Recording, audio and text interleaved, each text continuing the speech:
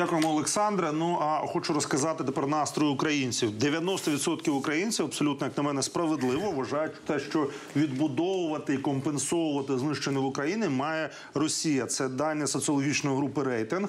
Причому порахували орієнтовно на даний момент сума збитків, завданих російською агресією, російською ордою Україні. Це 2,5 трильйони доларів. Причому ця сума вже більше ніж ВВП країни-агресора. І тут а, цифри насправді вражаючі, тому що а, завдані збитки вони, а, вони шалені. В Україні станом на цей день пошкоджено або ж зруйновано більше ніж 800 освітніх закладів, житлових будинків, стертих із лиця землі чи пошкоджених більше ніж 4 тисячі. На руїни перетворилися 15 аеропортів країни, понад 350 мостів зруйновані чи пошкоджені, понад сотня дитсадків та майже 4 десятки лікарень у завалах. Українські автошляхи 15 тисяч кілометрів стали непроїзними. Крім того, знищено 5 тисяч кілометрів залізничних колій та півсотні залізничних станцій. І це ще не повний перелік інфраструктурних утрат за 27 днів війни в Україні, який склали у Київській школі економіки. Е, Олександр Кубра- Кубраков, міністр інфраструктури, оцінив е, лише транспортні збитки у 10 мільярдів доларів. І треба розуміти, що з днем ця цифра може зростати, вона зростає і е, змінюється. Е, Власне, про те, як повернути е, міста до нормального життя, не то, що нормального навіть, щоб були якісь умови придатні для людського проживання. Про це ми будемо говорити пізніше в нашому ефірі. Ми чекаємо на включення. У нас вже говорять, що у нас вже є гість. Ми Чудово. можемо зараз підключити пана Віктора Чудово. Бондара. Да, і власне поговорити про те, це народний депутат України, депутатської групи за майбутнє. Ми знаємо, що колишній працював в міністерстві з інфраструктури, тому фахівець цього питання. Да, пане Вікторе, скажіть, будь ласка, скільки років доведеться відновлювати знищене на сьогодні? Ну, я думаю, те, що стосується інфраструктури, це е, роки 2-3 е, гарантованої роботи великої кількості будівельників, автомобільних будівельників дорожніх. Е, По суті, нам треба відновлювати заново мости, нам треба відновлювати дорожню інфраструктуру, нам треба відновлювати аеропорти, які знищені, інфраструктуру спеціально, це локатори і так далі. Тобто, це Украерух, багато багато інших різних об'єктів, які сьогодні зруйновані, по суті приведені в стан е, повної руйнації. А по суті, напевно, це якийсь для нас теж шанс е, повністю переосмислити всю е, діючу інфраструктуру, і навіть відбудова міст може піти по абсолютно нових планах. Ми можемо зробити абсолютно заново е, перегляд тих міст, які практично знищені на сьогоднішній день, і е, відбудовувати не тільки дороги, будинки, а переглянути всю інфраструктуру і теплозабезпечення, і водопостачання, і інші речі зробити на надсучасному рівні. І по суті побудувати нові такі сучасні європейські містечка, які будуть абсолютно по-іншому виглядати, в тому числі і мова йде про аеропорти, які зруйновані, можна їх абсолютно по-іншому збудувати. Ми говорили давно. Україна мріяла побудувати європейський хаб, який би забрав на себе всі. Е, Міжнародні польоти між Європою і Азією, і Бориспіль мав зробити це ще в 2005-2010 роках. Я тоді підписав наказ про будівництво на базі Борисполя такого величезного е, європейського хабу, щоб ми забирали всіх пасажирів східної Європи і через себе транзитом на Азію відправляли.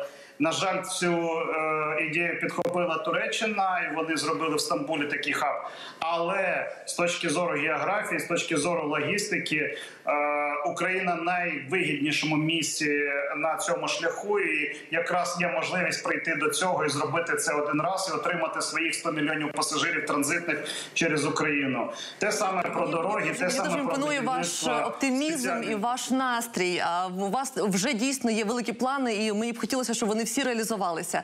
Я від щирого серця бажаю усім нам здійснення цих мрій. Але скажіть, будь ласка, а от із чого починати? Який має бути перший крок у відбудові цієї нової майбутньої нашої країни в у галузі інфраструктури? Перший крок який? Ну, безум, безумовно, ми бачимо, що сьогодні весь світ розуміє, що Україні треба буде допомагати відновлюватись.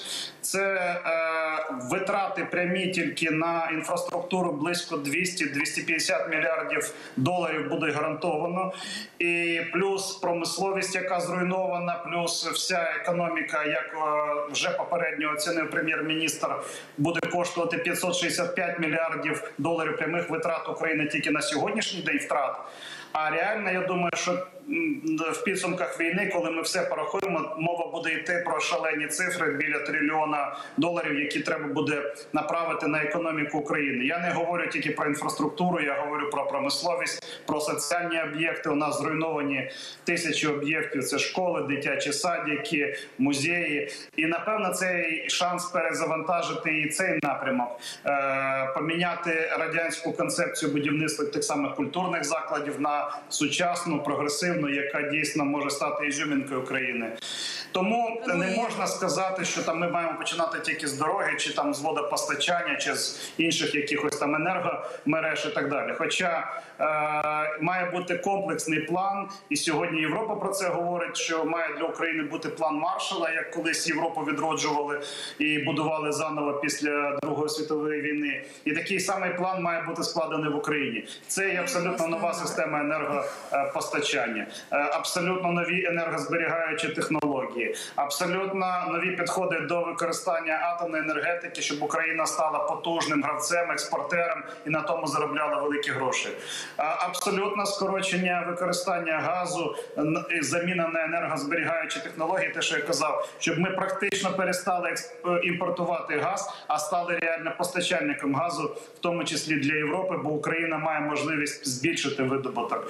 Е, Має бути інфраструктурні Вікторе, дякую, дякую вам дуже. Ви, ви е, обмалювали дуже великий, красивий і стратегічний план, який я сподіваюся, що буде втілено у життя. А щодо рук, які будуть е, будувати, то як зараз жартують обережніше із полоненими, нам ще треба їх е, використовувати на будівництві.